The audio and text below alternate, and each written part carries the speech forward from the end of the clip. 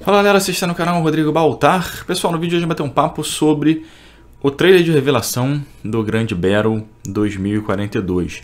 O jogo foi anunciado ontem pela EA, pela DICE, e a gente fez uma live aqui, né? Fez um react, não teve a gameplay ainda, mas já deu para perceber que vai continuar provavelmente a mesma bizarrice que foram os últimos jogos. Se inscreve no canal, se você não é inscrito, é importante que você se inscreva no canal para que a gente continue trazendo conteúdo aqui no YouTube. O canal voltou a crescer, finalmente. Me segue lá na Twitch para você acompanhar as lives que estão rolando no canal. Vai rolar lá o Final Fantasy, a DLC da Yuffie, vai rolar a série. E também o Ratchet Clank, o novo, do PlayStation 5. Se você for comprar alguma coisa, link na descrição. Se você for comprar o Hatchet, se você for comprar um Xbox Series S, se você comprar nos links na descrição, você vai estar ajudando o canal. E vamos lá bater um papo sobre o grande Battle.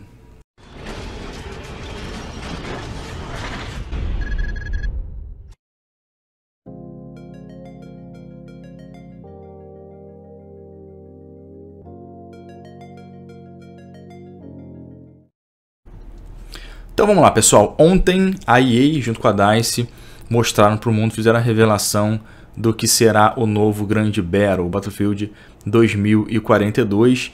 A empresa acabou trollando todo mundo que estava esperando que tivesse pelo menos uma gameplay, mas só foi um trailerzinho de dois minutos. Esses eventos estão ficando chatíssimos, né? E a EA conseguiu fazer o pior evento de todos.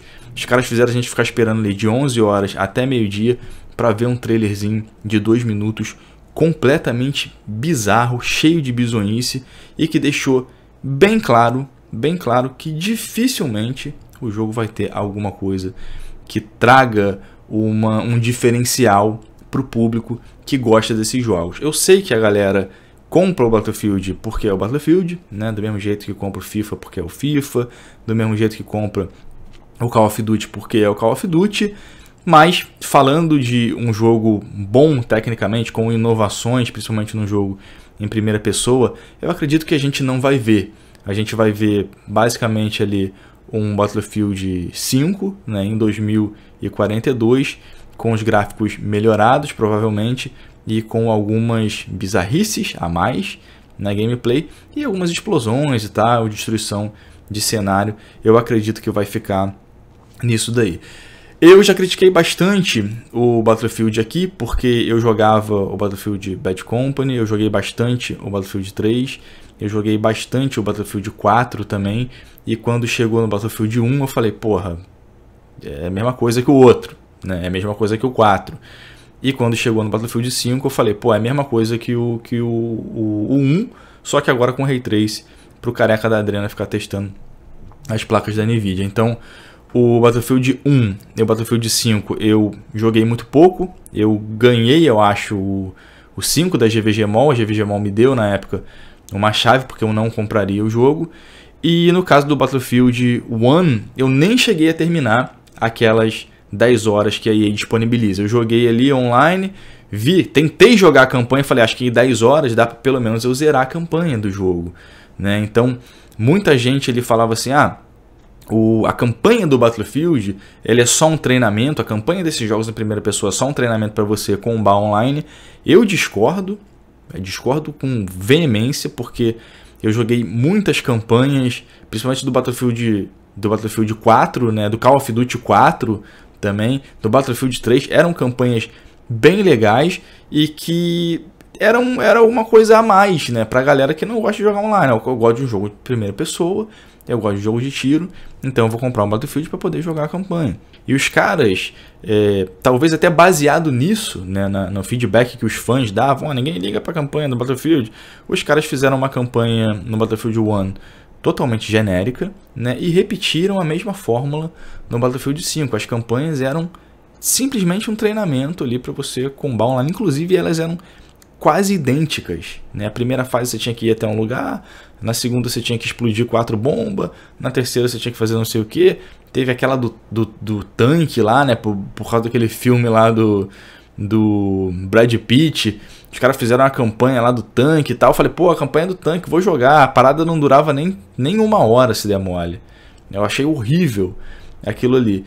Então, A EA ela continua sendo a EA.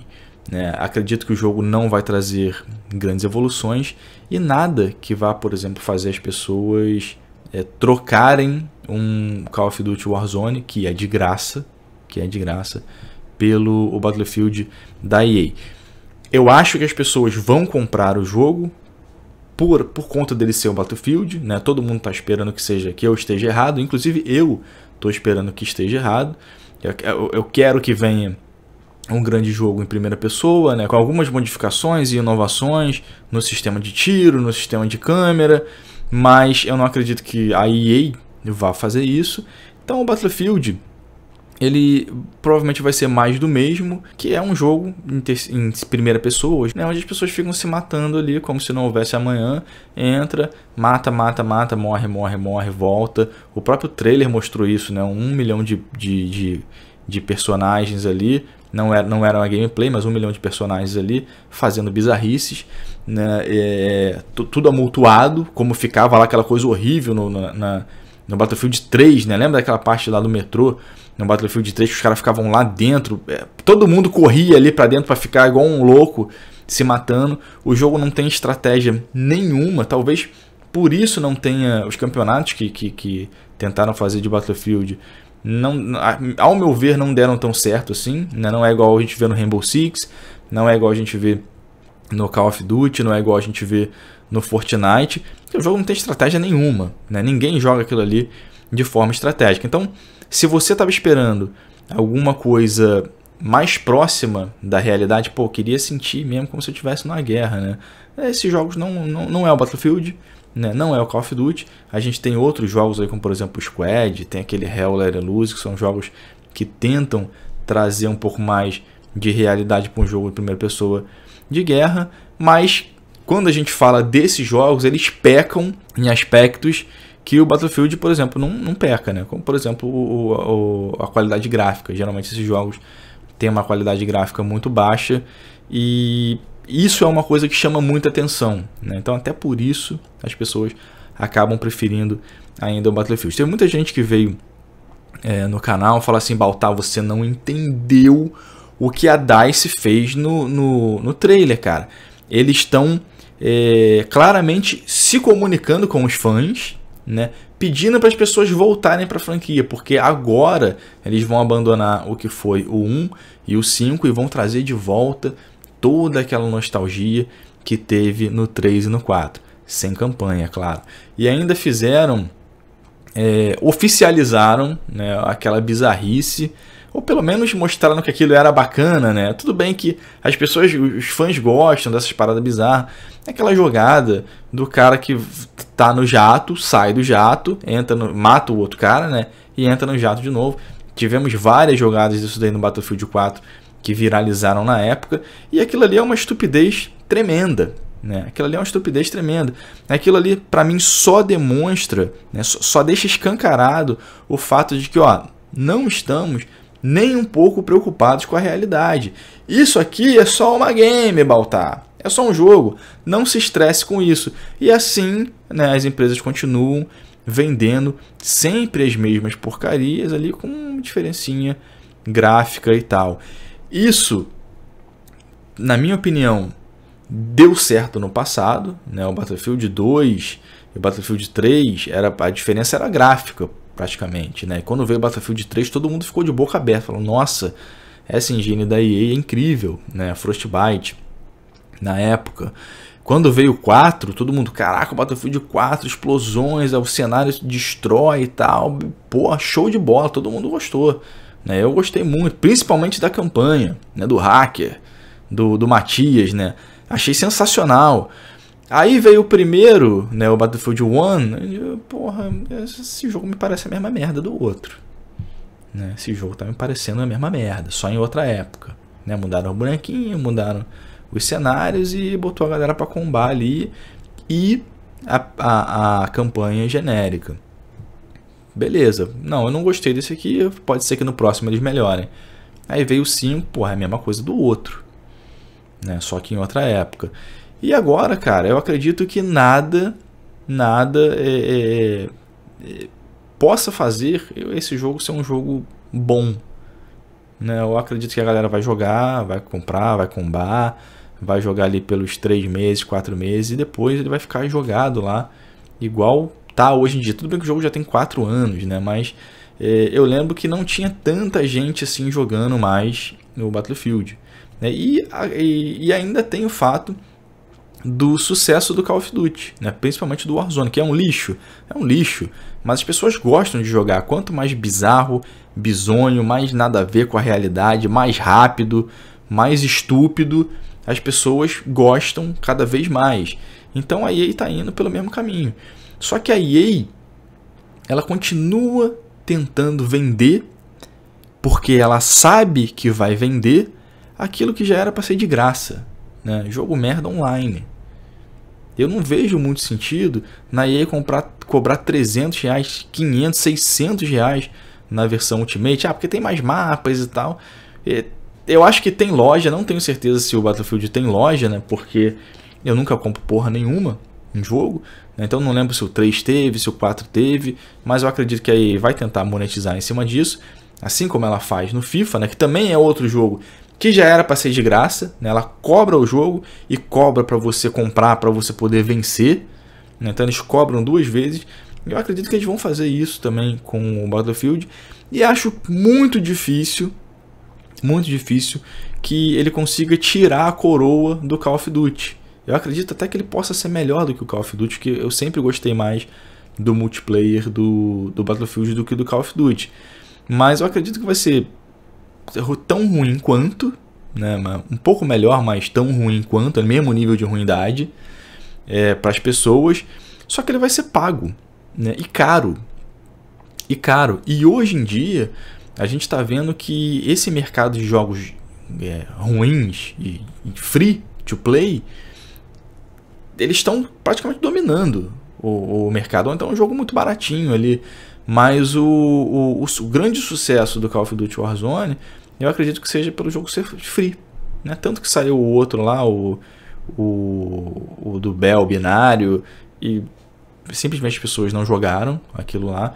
Enquanto isso, eles continuam lançando conteúdo lá pro Call of Duty, mais conteúdo, o jogo fica cada vez mais rápido, mais bizarro. E o Battlefield vai tentar fazer a mesma coisa com as mãozinhas ali da EA, ou seja, se preparem se preparem que vem bomba.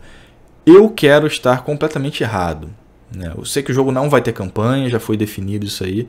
Eu quero estar completamente errado. Quero ver um jogo em primeira pessoa decente, quero que tenha inovações na mecânica, no sistema de tiro, no sistema de câmera, que os gráficos estejam melhores. Eu não sei se ele vai trazer essa nova atualização da Flashbyte que vai vir para o FIFA, mas eu quero que seja um bom jogo, né? Principalmente porque a empresa está cobrando caro. Né? Porque tem muito tempo que a gente não vê um Battlefield novo.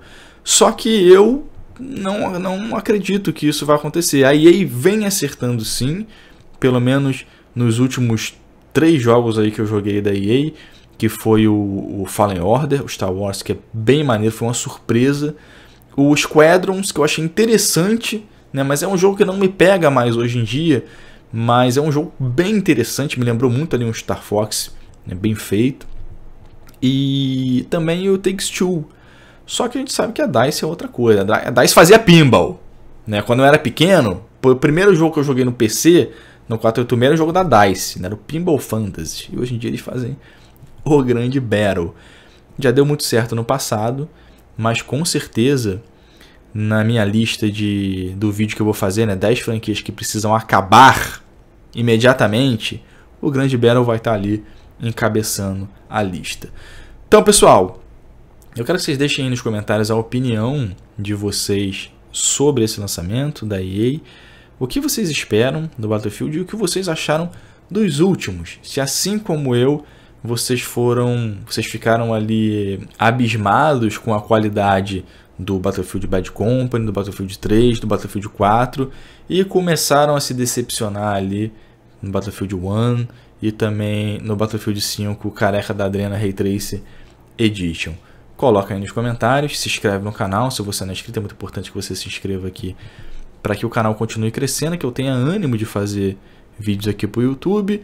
Me segue lá na Twitch, arroba loucobaltar, para você acompanhar a saga da Yuffie, da DLC, e também do Ratchet Clank do PlayStation 5. Eu recomendo que você jogue o jogo, né? joga o jogo. Se você for mais rápido do que eu lá fazer a zeragem, você assiste. Caso você tenha interesse em comprar ou você tenha interesse em, em, em não sei, em jogar daqui a um tempo, é, não assista, né? Tenha a sua própria experiência. Se você for comprar, links na descrição. Você pode comprar aí na Amazon, você pode comprar na Americanas, que você vai estar ajudando o canal aqui. Um grande abraço a todos, é nóis e até a próxima.